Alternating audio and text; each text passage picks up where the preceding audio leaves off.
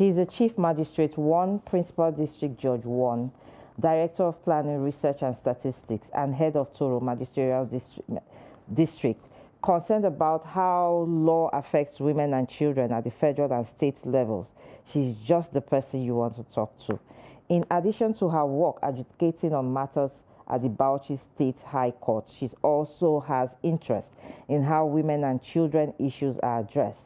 She's an associate member, the Institute of Chartered Mediators and Counselors. She is an associate member of the Conflicts Management and Leadership Training Institute of Canada. She was bench member judge International Criminal Court Moot Court Competition, the Netherlands. 2018 and 2019 ha has received multiple awards from the Bauchi State branch of the Nigerian Bar Association. It is no secret that Chief Magistrate Shafao Ladan Yusuf has been one of the first women to break the glass ceiling and hold a top leadership position in the judiciary system in Bauchi State. Join me in welcoming Shafao Ladan Yusuf to today's show. Yeah, thank you for having me. You're it's welcome. a pleasure being here. Thank you very much. Um, thank you for taking time out to be with us, Hajia. Your journey is such an inspiration. Um, what prompted you to always want to be, you know, to becoming a judge, you know? Um, uh, I mean, I thank you for this your question. If I will be truthful, it wasn't really my ambition or interest to be on the bench. Oh, But I had always wanted to be a lawyer since from uh, primary school. When I used to watch, um, remember a program, a British program, The Crown Court. So being on the bench is uh, it kind of came as an afterthought. It wasn't really like my ambition from the very beginning, but then here we are. Yes. okay. Um, interesting. You know, something interesting about um, the judiciary is that every woman, female justice, is called a Mrs., whether she's married or not. No, Mister. Mr. Yes. Oh, it's Mr. It's Mister. Female or male? Yes. You know, um, in the legal profession, we don't have ladies. we don't have ladies. We don't have women. Everybody is a gentleman. Wow. Hence, the title Mr. Esquire. Okay. You know, Esquire means gentleman. Yes. However, even though we don't have ladies, but we have gentlemen in skirts. so we are gentlemen In skirts. Yes. Wow. Hence That's- the title that's for everybody, that- Mister. Oh, okay. Yes. But So- uh, with the trend now of this uh, gender equality and whatever, I think um, we are not really rigidly sticking to that. Okay. In Nigeria or all over the world? Well, it's Nigeria that I know. So in Nigeria. Okay. Yes. Um, you've been in this profession for, you know, how many years now, Hajia? Uh, I've been a lawyer for 21 years now. 21 years. And I've been on the bench, of the Bench. magistracy for 15 years.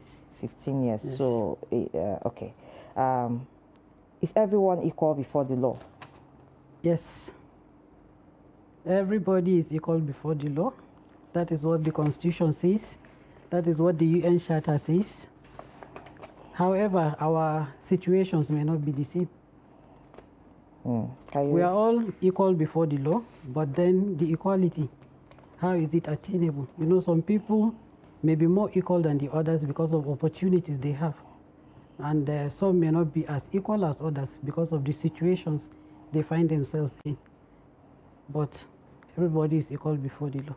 so, how did your background affect um, your desire to become a judge? Well, um, you know, as a woman and as a mother, as a big sister in my house, I'm the firstborn. Okay. So by default, you are a judge. Then coming with um, looking at the situation I found myself at the time, my husband was in the army, and I needed some kind of stability at that material time that I decided. And um, I'm a person that likes challenge, so I saw it as kind of a challenge, and I felt it's something I could do. And um, I tried my luck, and I was elevated. Okay. Um, most people say female judges most times judge differently. Is this true? Well, um, not only female judges, we all judge differently. If we were to sit on a judgment, myself and you, naturally our perception would be different. But then what we are looking at is the ultimate destination, and that destination is justice. So we may judge differently, but at the end of the day, we arrive at justice. That is what matters. So what have been the challenges so far? You know, Um, well, the challenge is, as a woman, mhm, as a female judge. as a yeah, well, uh, you know, like uh, I think the women fare better than the men on the bench. Wom- yes, But we have more, well, we can say 50-50. yeah, you could say like in the High Court, we have uh, more men. Like in my state, we have like um, 20, 80 percent. Wow. That is, uh, we just have two female judges, then we have men. But when you come down to the magistracy, where I belong, it's like 60 40. Oh, And even the staff in the High Court is maybe um, 60 40 or thereabout, the ratio between men and female. So, what are the challenges? You say, like, um, if I were to be fair to the men, you know, they have a lot of responsibility. yeah. And being of the, on the bench, the work is too much, but then there is no commensurate pay. The earning is not much, and then going by the code of conduct of the judiciary, there are a lot of things that you're not supposed to do. So the men, in addition to um, adjudicating, have to maybe supplement or augment whatever they are getting by maybe farming and other things. But what of the female? we have more stability than the men. So the women fare better than the men on the bench. That is my belief. Okay. Um, have you ever lost sleep over a decision you uh, made in court? Made by who? By myself or By by, yourself. somebody? Not necessarily, because um, once you are fair and just, and then, um, you know, because of the oath we normally take at the beginning, that is on appointment, Mhm. you um, take an oath that you are going to be fair to everybody and that you are not going to fear anybody and all that. So, whatever you do, if you do it justly and with the fear of God, you shouldn't lose sleep. Yes, the law is there, it's just to apply it, dispense it. Okay. So, what case, which case would you say has been the most interesting case since, you know, you became a judge? Uh, it's normally matrimonial cases. I wouldn't want to delve into Mhm, it, you yeah. know, um, but um, there are cases like that, matrimonial cases that you could see that the issues are not really serious like that. It's just matter of ego. Okay. You understand? Just for somebody to say I'm sorry and all that. And sometimes it's matrimonial issues, but they will come to court sometimes and uh, Create everybody drama yes, and create laugh. drama. Everybody will laugh and every at the end of the day. Is there any particular case that had an impact on you Well, till um, date? in my own court or in somebody's court, Anyway, maybe your court, you know. you know, I wouldn't want to delve into or tell you much Mm, about a yes. particular case or that. But then there are many. There are many, and like I said, it's mostly matrimonial cases. Mm-hmm. That has made me to believe that what we say in Hausa, tsakanin mata da miji. Ba shiga Yeah, ba. so you you don't try and uh, impose yourself between a husband and a wife and all that. So I have learned a lot of uh, things from. Would you do this all over again if given a second chance? Yeah, I think so. Yes. That is being on the bench and all Yes. that. Yes. Why? Yeah, because um, when you dispense justice, you get a sense of uh, satisfaction and um, there is a kind of closure. You feel as, um, well, thank God I've done this. If I were not there, I would not be able to do it and all that. If you were not a judge, if you didn't go into the law profession, Mm. what would you have been? A teacher. Mm. Yes, I've always wanted to be a teacher, aside from maybe a, a law teacher or just a teacher, teaching anything. I love to teach. So Okay. I've been a teacher. Even now, if I have or if I get the opportunity to teach, I will teach. Okay. Yes. Any of your children trying to toe your path? Yeah.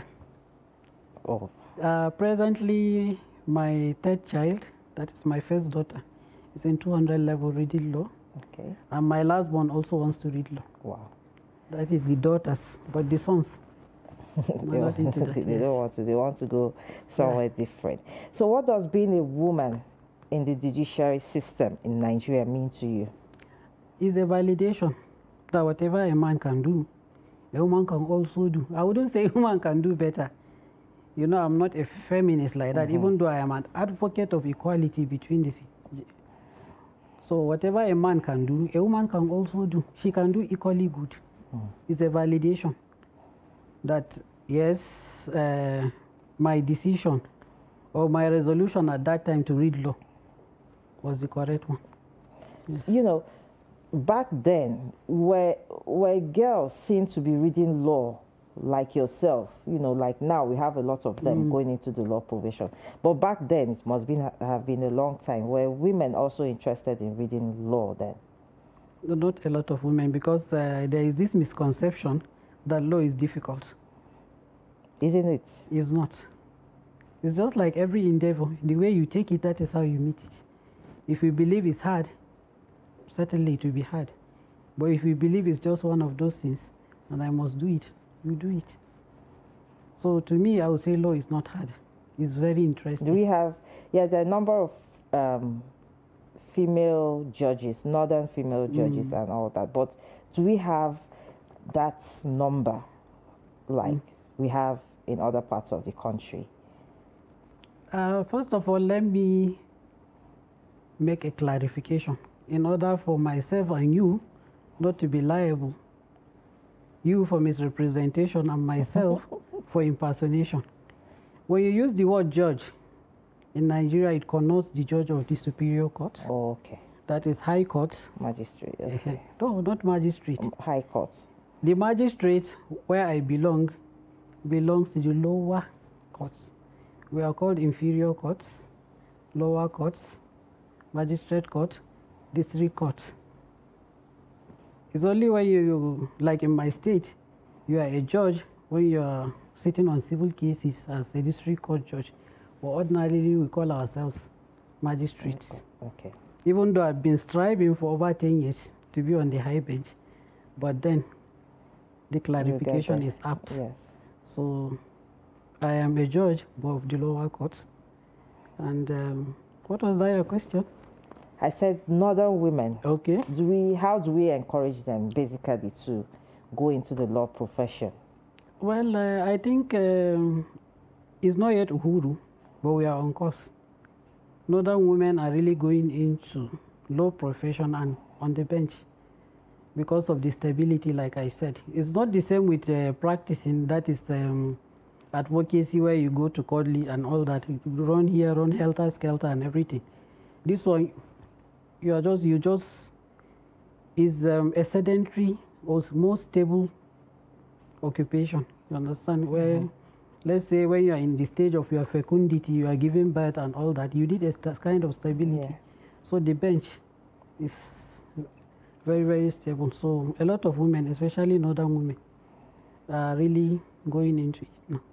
Okay, what are the biggest changes you think we can um, we need in the judicial system in the country? You, you know, when you say judicial system, it comprises of, uh, like in my state, the Sharia Court of Appeal and then the High Court.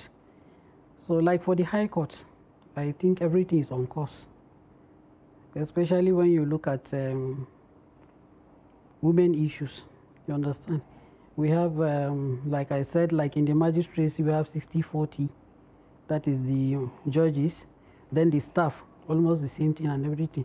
Now coming to Sharia Court of Appeal, I have spoken in a lot of fora, and the present Grand Kadi and other Qadis they have agreed with me that there is need to overhaul that system.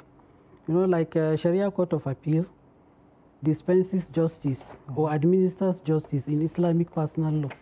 That is issue of inheritance, uh, children custody, and all that. So a situation whereby a court that sits on those kind of issues Yeah. is manned primarily from the top to the bottom by men. Mm. You know, women will never ever be confident or comfortable. And you know how our women are. Mm. Some of us, if we see a place that uh, is being uh, populated by a lot of men, to even enter that place is a problem. Yeah.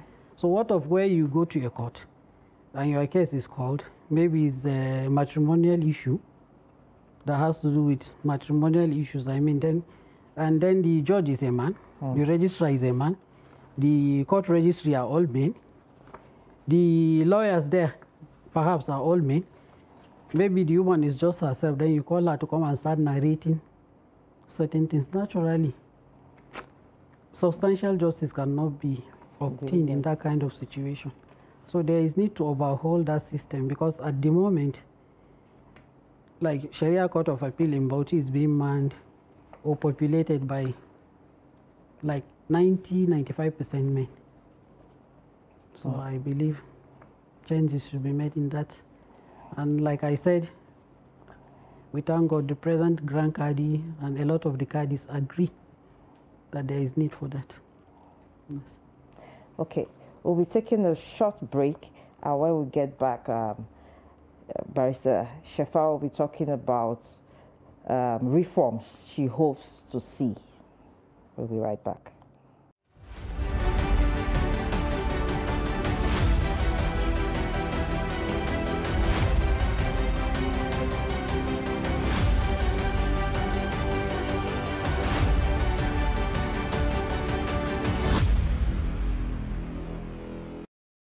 Welcome back.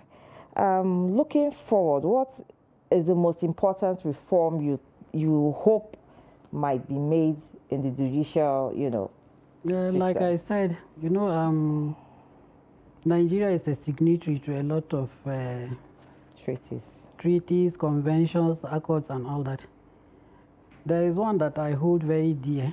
That is the United Nations Security Council Resolution 1325 which talks about um, involvement of women in peace, um, peace, peace and security. Okay. You understand? So, um, and when we talk of uh, security, if there is no substantial justice, or more than half of the population cannot access justice, you know, there wouldn't be any peace. So I think, like I keep saying, the justice system, not judicial system, now the justice system needs to be overhauled so that you involve women in every aspect from arrest, prosecution, um, adjudication, and uh, where the need arises, maybe um, incarceration in prison or whatever, or correction. You know, we are using correction. correction yes. so at least, so that, like I keep saying, like the example I gave you with the Sharia Court of uh, Appeal, uh -huh. what is happening now is that uh, from the very beginning, let's say you have a matter and you go and report at the police station, a lot of the times you find only men. The women may be there, but they are doing uh, service. What do you call it? Taking tea and whatever to August offices and everything. So the one that you go and speak to may be a man. The prosecutor assigned to your case may be a man. You go to the court. You know that one is um, the police now is part of the um, executive arm of government. Then you now go to maybe there will be need to now go again to the Attorney General's chamber oh. for advice and whatever. You go, maybe the lawyer writing advice and everything is a man. No. Let's say it's a woman now, an indigent woman coming from the village. Then from there, you now go to the court. The prosecutor is a man, or the lawyer they give you from the ministry is a man. The judge is a man. And at the end of the day, if you are the one going to prison or whatever, it is men there hmm. and everything. So at the end of the day, we really need to adhere to this uh, resolution of the United Nations because we are a signatory. We even have national action plan, even state action plan okay. and everything. But we just sign those laws and just dump them. And even our constitution is not helping matters because the constitution says you should respect those treaties and whatever. But then in section 19 is saying unless and until those treaties and whatever you have signed are now being legislated upon by the National House of Assembly and made into an act of the National Assembly. Then for states to adopt and before it can be implemented. So we'll just go and sign and sign beautiful laws outside, bring them. At the end of the day, they will just be gathering dust. Nothing is going to happen. So I think something needs to be done. So, like uh, the justice system, the whole justice system need to be overhauled. And in line with the resolution of the Security Council of the United Nations, we need to involve women everywhere so that uh, you go to court. If the judge is not a woman, at least the registrar, Should be a woman. a woman. Go to the police station, the same thing. Go to the Ministry of Justice, the same thing.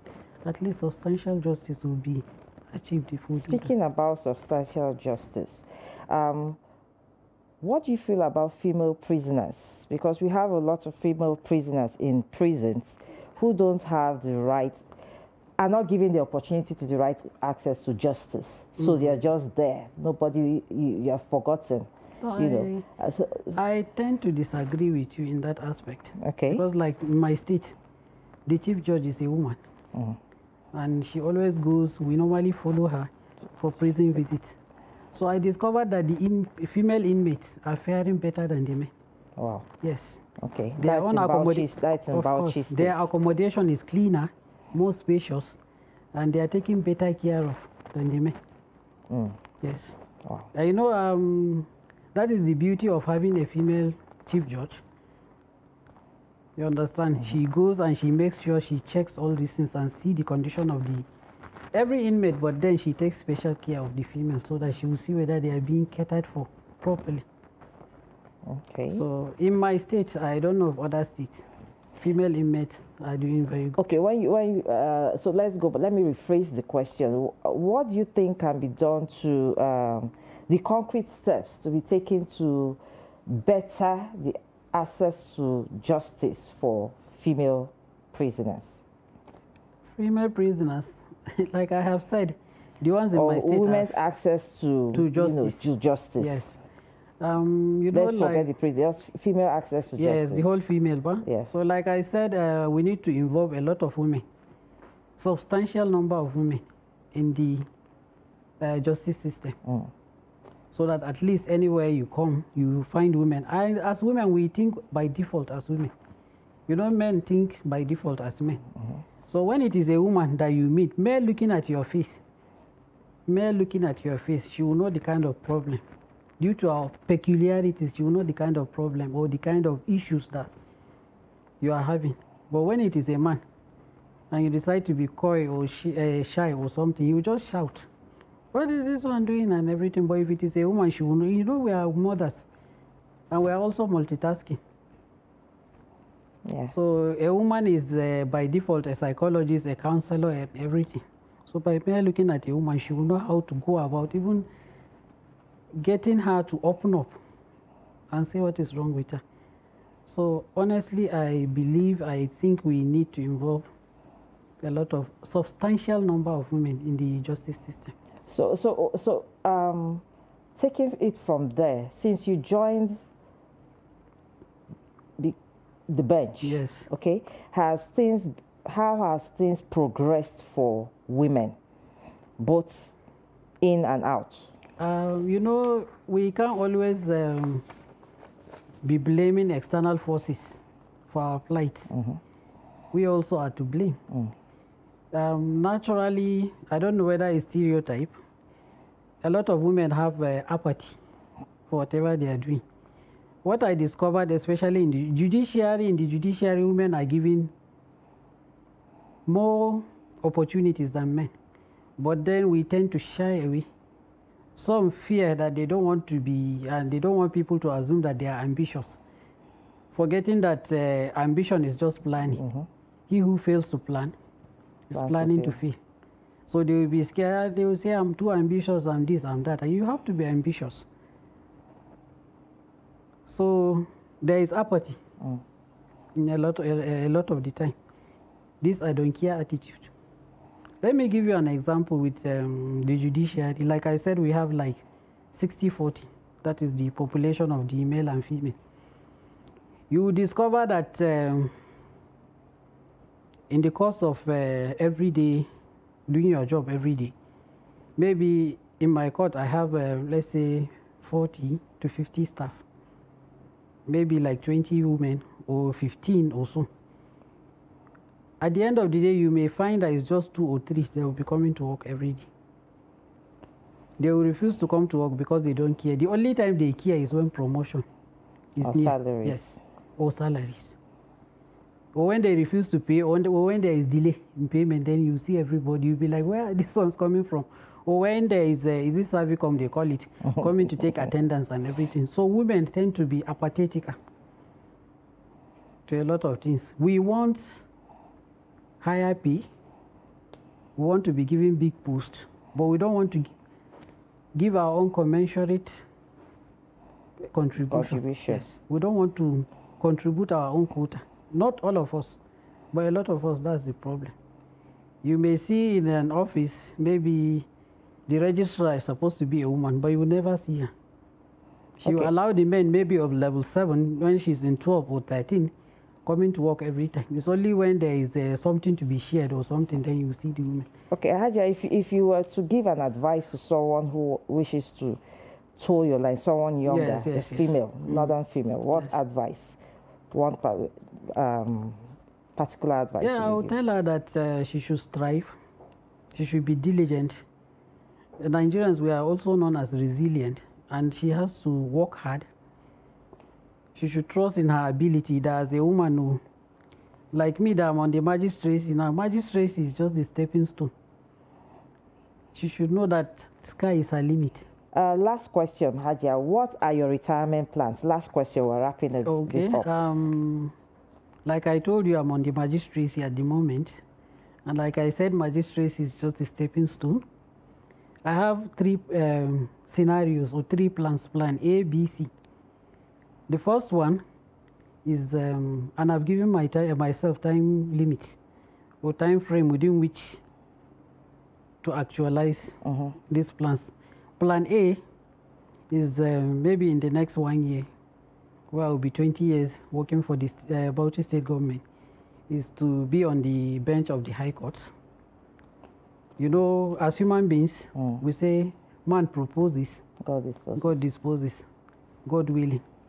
But if I am not able to do that, it means that might not be my calling. Plan B is to retire early, gather small money, open my own chamber, contribute my quota. If I don't do that, plan C is to retire early and join politics. Okay. Yes. There's no doubt that women are competent to lead, not because they are women, but because they are qualified. They have the necessary skills and experience to lead in the judiciary. Women are on par with their male counterparts and therefore must be provided with equal opportunities. Thank you, Barrister Shefatu, for joining us on the program Thank today. Thank you, Hajia Amina, for having me. It's always a pleasure talking with you. All right. Mm. Until next week, when we bring you another interesting guest, I remain your host, Amin Al Hassan. Stay safe and remain blessed.